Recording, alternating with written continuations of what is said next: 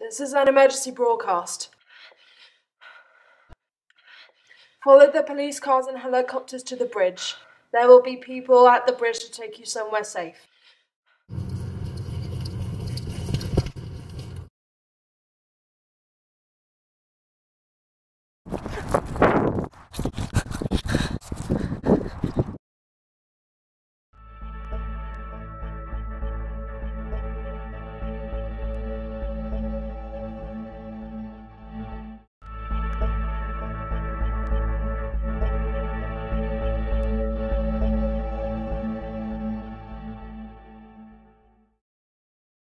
There are several theories to how the incident occurred.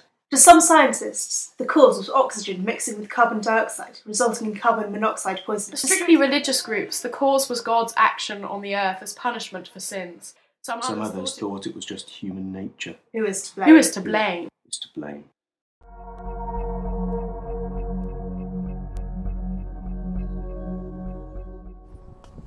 Hello? Is there anyone there?